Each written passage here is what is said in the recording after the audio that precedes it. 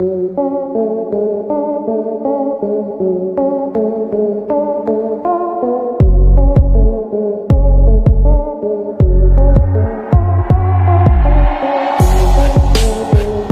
हर बार की तरह एक बार फिर से मलाइका अरोड़ा जिम के बाहर स्पॉट हुई जहाँ उन्होंने बेहद ही शानदार टाइट ड्रेस पहना। एक बार फिर से एक्ट्रेस मलाइका अरोड़ा का ये टाइट जिम आउटफिट देखकर लोगों ने, जहाँ उन्हें जमकर ट्रोल किया है तो वहीं कुछ लोगों ने उनकी तारीफें भी की हैं।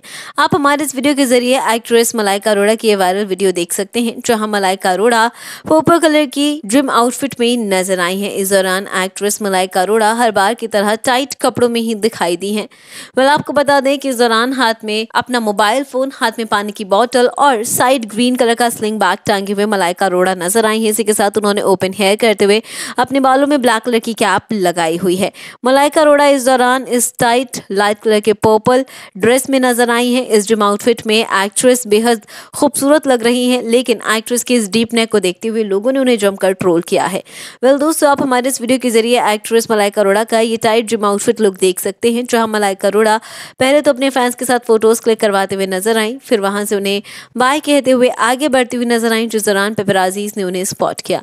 वाला आप हमें कॉमेंट करके ज़रूर बताएँ कि मलाइका अरोड़ा का ये बोल्ड और ग्लैमरस लुक आपको कैसा लगा?